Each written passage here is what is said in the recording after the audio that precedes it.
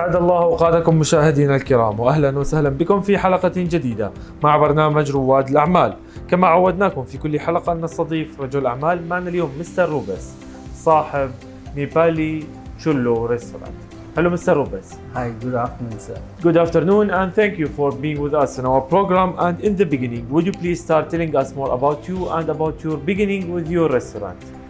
Uh, my name is Rupesh Shrestha and uh, my, I'm from Nepal.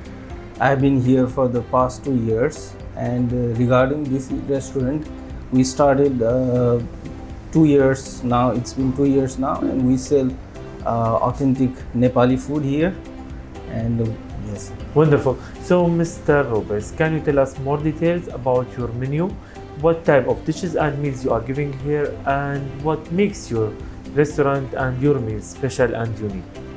Uh, this restaurant we are offering so far we have 50 or more than 50 food items we sell here.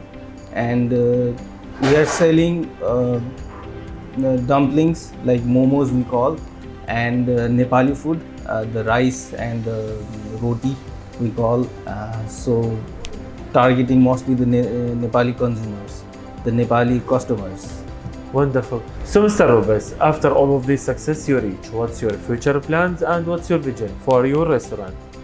So far, we have planned to uh, grow more than what we are now. We have one outlet as of now, and we plan to extend uh, to more outlets and offer add uh, quite other menus as well. So, uh, as of now, we want to succeed only in our food items, and if we do good, if we are better, then we just plan to add more Indian food or some other country food so we can run better. We hope the best and we hope to see you all over the UAE. Okay, thank you, sir. Mr. Robes, as a businessman who's living and working in Dubai, what's your advice for anyone who's interested to start his own business here? Uh, doing business, I must say, you know, uh, it's very easy to work here. Uh, the only thing you need to know is uh, we need to have good research before we invest in any business.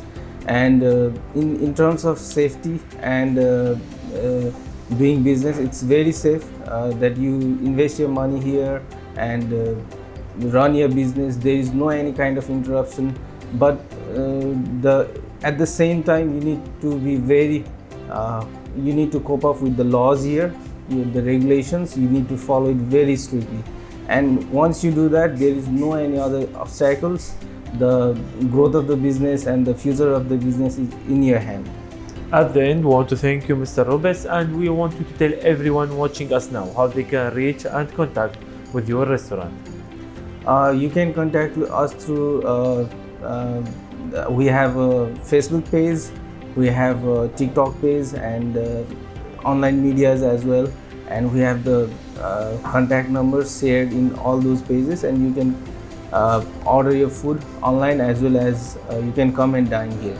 Our location is uh, International City, Morocco Cluster, J04, SOP 1.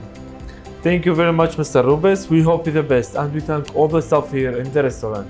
Thank you very much, sir. Thank you. إلى هنا أعزائي المشاهدين نختتم حلقتنا لهذا الأسبوع. تابعونا كل جمعة وسبت على قناتكم ABC الخليجية وعلى مواقع التواصل الاجتماعي.